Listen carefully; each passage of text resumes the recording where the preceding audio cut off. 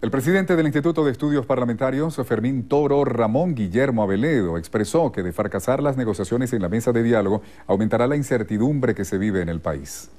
Si el diálogo fracasa, será como ha ocurrido con el, que se bloqueen los caminos para el revocatorio, el que se cierren las, las rutas electorales, que aumenta la incertidumbre y eso tiene un, un, efecto negativo también en la vida de los venezolanos y en la economía venezolana. Aquí lo importante es que haya vías de solución para la crisis política, porque la crisis política es la piedra de tranca que está afectando la crisis económica.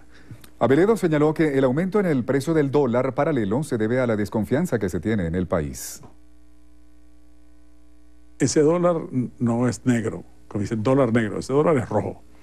Rojo porque está asociado a las políticas públicas que el gobierno adelantado, a las políticas de controles excesivos, discrecionales y desordenados que han hecho que la economía se empobrezca y que disminuya entonces la oferta de bienes.